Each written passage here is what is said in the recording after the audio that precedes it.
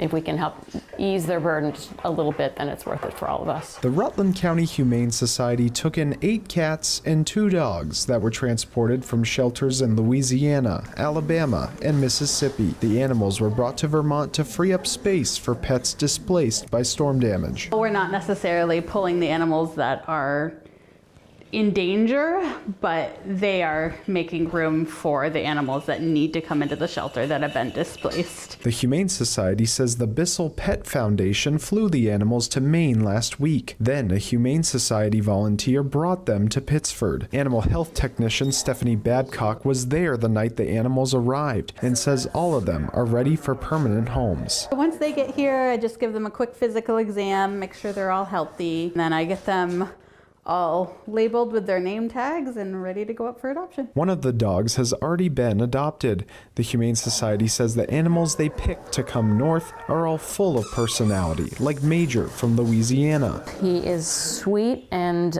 just just a lovely. He's going to make a really really nice addition to someone's house. And Mosey from Mississippi. He will purr nonstop. He loves to be held. He loves to play with the other kitties.